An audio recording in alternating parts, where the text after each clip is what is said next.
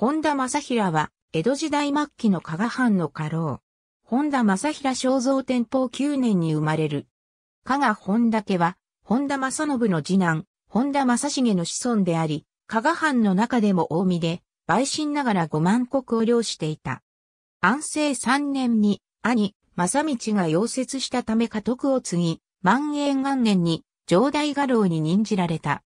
藩主、前田成康に寵愛され、成安と共に西洋軍政の導入など改革を積極的に推し進めた。しかし、尊王上位派に対しては冷酷で、現時元年に金門の変が起こると、尊上派と親しかった成安の聖子、前田義康の謹慎処分をはじめ、藩内における尊上派の処罰を担当した。慶応2年からは、薩摩藩などとの交渉役を務めている。しかしかつての尊上派に対する厳しすぎる処分は彼らの恨みを買うことになり、明治2年8月に金沢城二の丸御殿において、井口義平、山部沖太郎に暗殺された。去年32、明治42年14位を追贈された。聖、人志の死後、聖、人志の暗殺に関わった9名のうち、直接暗殺した井口義平、山部沖太郎は、切腹をしたが、直接関わっていない7名は、切腹を免れるだけでなく、無罪となった者が3名いた。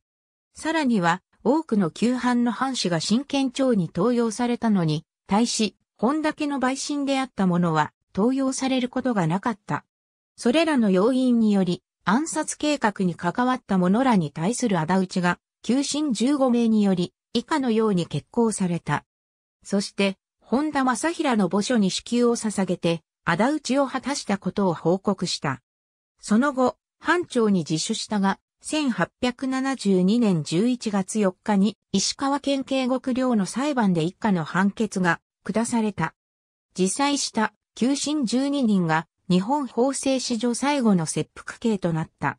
そして翌年の2月7日に司法卿江藤新平により復讐禁止令が布告され、法として明確に仇討ちが禁止されることとなった。